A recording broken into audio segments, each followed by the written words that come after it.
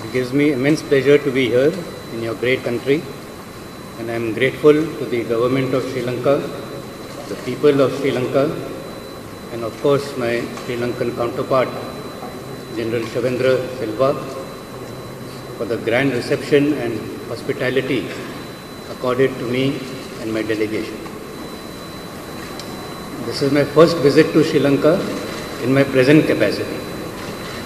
But I have witnessed the strengthening relationships between the two militaries since my days as a junior leader when I was here as part of the IPKF.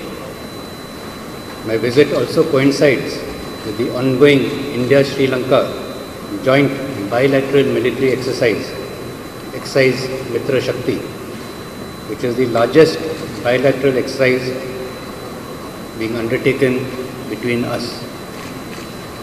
I shall be witnessing the culmination phase of this exercise along with General Silva. This exercise form a major part of India and Sri Lanka's growing defense relationship. As mature democracies, the quality interaction between the elected leaders of both countries is mirrored by similar interactions between our two militaries. We have had a number of visits by senior Sri Lankan military delegations and I have engaged in army to army staff talks on a number of occasions. It is a proud privilege for us to host Sri Lankan officers, NCOs and cadets for training in many of our institutions. General Shavendra Silva himself is a proud alumni of the NDC New Delhi. I am sure he carries fond memories of his stay there.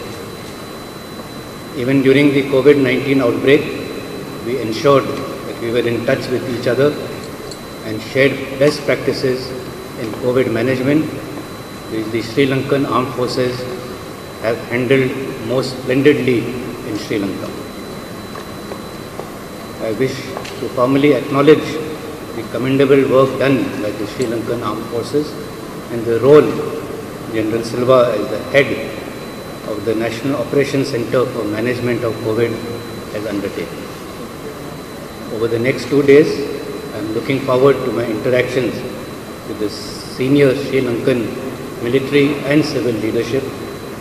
I am also looking forward to my interaction with the Honorable President and the Honorable Prime Minister. Thank you very much.